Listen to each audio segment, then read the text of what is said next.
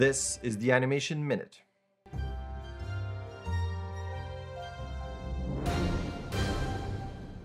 As always, let's start with jobs, even though it's short and sweet. Nathan here is tweeting that they're looking for effects artists, and if you go to the list here, you can see a bunch of animation jobs as well. And Gustavo is looking for pixel art animators. And that's it.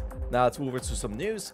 Cartoon Brew is tweeting about a cheat sheet to almost every game developer's remote work policies. That's super helpful. That's cool. Disney Pixar has released Lightyear, the teaser to their new movie. It's going to be awesome. I have an animation analysis on my channel if you want to check it out. The trailer is super cool.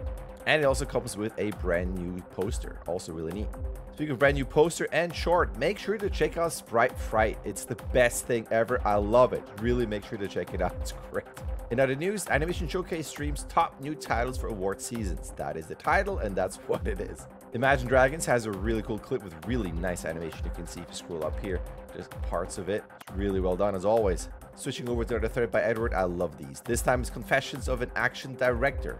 Lots of cool stuff here. Always stories and anecdotes and tips. It's great. In other news, Rokoko has released their Smart 2 Pro, and especially cool is the Ready for Elevation tracking feature. That is a huge upgrade. Speaking of Rokoko, this is a crazy compilation clips of clips that people have done using their suits. I'm not going to spoil this, so check it out. Switching over quickly to Nintendo, they have a really cool layout for the games. Check this out. Lots of art love this. Oh, so good. So many fond memories. So check it out for three of the games. It's a really cool layout. Harvey Newman continues his awesome chats with people, and this time it's Keith Lango. I have learned everything from him when I was at school. He is a legend, so make sure to check out that discussion.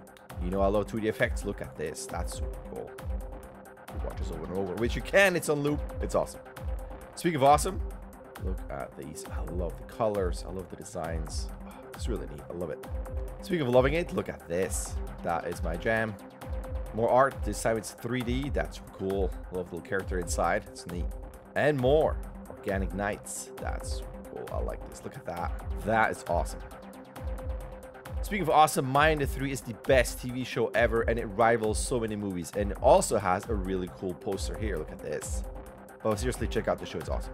This is crazy too. Just throwing that in there. A couple effects here, but let me go to the beginning. Look at this. That's cool. I like it. More art. So cute. Look at this. Come on. I love it.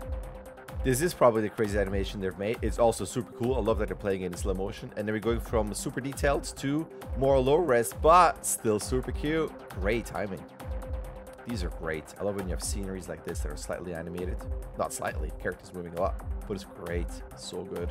And last but not least, let's check this out. I love when people wear backpacks and contraptions and they do stuff. It's really cool. And that is that for the Animation Minute. You can find it every Monday on my channel at 10 a.m.